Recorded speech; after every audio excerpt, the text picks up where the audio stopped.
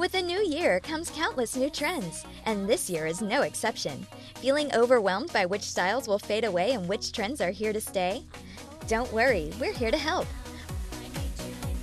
Join us as we count down to the new year and its biggest trends, only on Top 5 Must Haves for 2016.